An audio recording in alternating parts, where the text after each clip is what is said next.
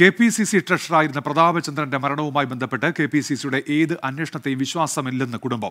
പോലീസിന് സാമ്പത്തിക വിവരങ്ങളടങ്ങിയ രേഖകൾ ഉൾപ്പെടെ കൈമാറിയെന്ന് മകൻ പ്രജിത് പറഞ്ഞു. കെ സുധാകരനുണ്ടായത് മോശം പ്രതികരണമാണെന്ന് പോലീസിന് മൊഴി നൽകിയ ശേഷം വിജിത് മാധ്യമങ്ങളോട് പറഞ്ഞു. അല്ലമീൻ വാർത്തയുടെ വിശദാംശങ്ങളുമായി തിരുവനന്തപുരത്തും ചേരുന്നുണ്ട്. അല്ലമീൻ എന്തൊക്കെയാണ് വിവരങ്ങൾ?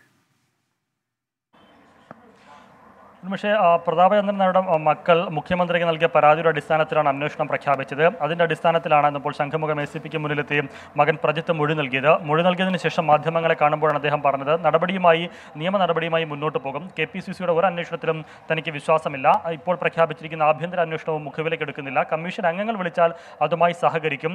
കെ പി സി സി അധ്യക്ഷനിൽ നിന്ന് ഈ വിഷയത്തിൽ വളരെ മോശമായ പ്രതികരണം ഉണ്ടായത് എന്നും അദ്ദേഹം പറയുകയാണ്. പോലീസിന് ഇക്കാര്യത്തിൽ വിശദമായ നൽകിയിട്ടുണ്ട്. കെ പി സി സിയുടെ ചില സാമ്പത്തിക ഇടപാടുകളുമായി ബന്ധപ്പെട്ട രേഖകളും പോലീസിന് കൈമാറിയതായി മകൻ പറയുന്നുണ്ട്.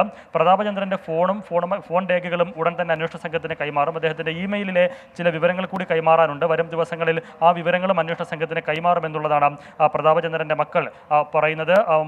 കെ പി സി സിയിലും കെ പി സി സി അധ്യക്ഷനിലുമുള്ള വിശ്വാസം നഷ്ടപ്പെട്ടത് കൊണ്ടാണ് നേരിട്ട് മുഖ്യമന്ത്രിക്ക് പരാതി നൽകേണ്ടി വന്നതെന്നും അദ്ദേഹം മാധ്യമങ്ങളോട് പ്രതികരിച്ചു. അല്ലമീനാണ് വിവരങ്ങൾ നൽകിയത്. ഈ പരാതി നൽകിയതിനു ശേഷമാണ് പ്രതാപചന്ദ്രന്റെ മകന്റെ പ്രതികരണം. അത് അപ്രതികരണത്തിലേക്കാണ് ഇനി.